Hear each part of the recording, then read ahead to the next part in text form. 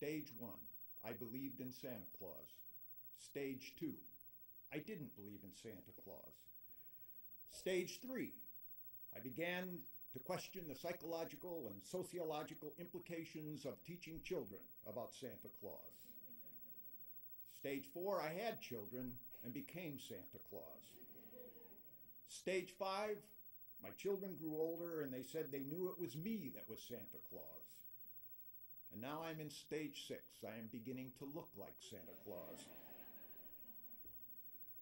I do know that when the time comes for my life to end, I want to be like the old fellow I heard about who died peacefully in his sleep, not yelling and screaming like the rest of the people in his car. Shel Silverstein wrote a wonderful poem about growing old. Said the little boy, Sometimes I drop my spoon. I do that too, said the little old man. The little boy whispered, I wet my pants. I do that too, laughed the little old man. Said the little boy, I often cry. The old man nodded, so do I. But worst of all, said the boy, it seems adults don't pay any attention to me. And he felt the warmth of a wrinkled old hand.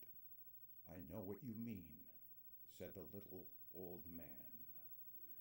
Sometimes people ask me why someone my age would want to continue to teach when I could relax at home without worrying about lectures or grading or student evaluations.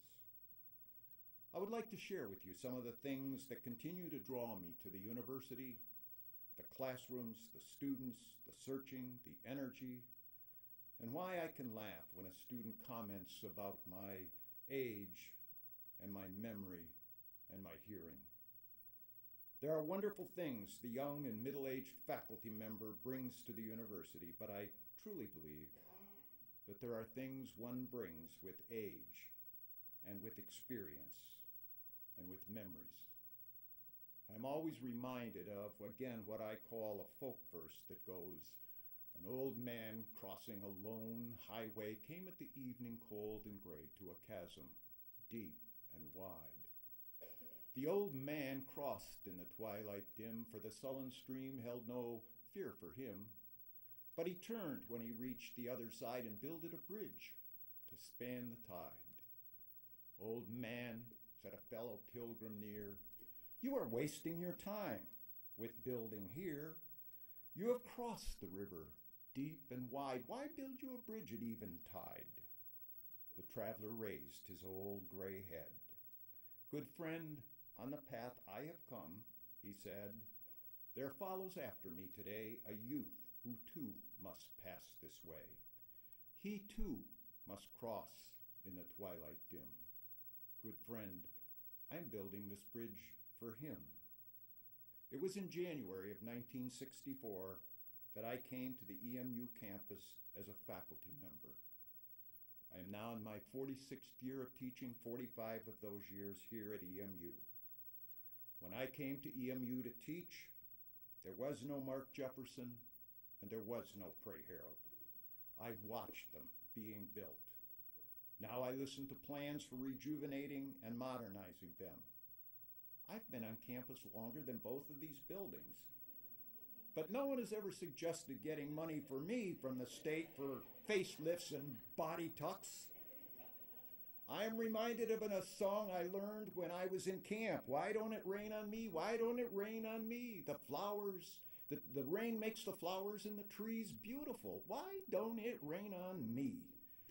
I do want to share some of my perceptions of what the university and the professors and the students are doing and have been doing for well over 2,000 years. It's not my intention to discuss educational philosophy, but rather to talk about what happens to us to a person when they are a part of a university. There's a poem again that I learned some years ago that says it pretty well. My heart is like an old sea captain sailing the high seas for many years. It has seen many wonders and terrible frights. The rain has poured, the winds have blown, the sun has baked, the pirates have plundered. Even after all this, the old sea captain retains his strength. He retains his youth and passion. Sometimes a tattered and torn heart has more love than any else. For because it has experienced and endured so much, it can truly appreciate that which is most sacred.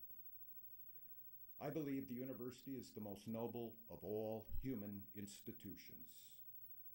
From our ancient universities that created things like numbering systems, to the Academy of Plato, and then later the Arabic universities that succeeded in saving the work of Socrates and Aristotle and Plato to the ages, to the Middle Ages and the Age of Enlightenment. The university has been a place of sacred trust, integrity, and advanced learning. Because I believe that it still is the purpose of a university, I continue to have my students write papers and have them speak aloud, trying to instill in them the tools that I call the skills of the educated mind. It is at the university that we try to instill in students a sense of the role they have as a scholar, to learn basic foundation information, to ask questions, to do research, and to communicate ideas in grammatically correct written and oral style.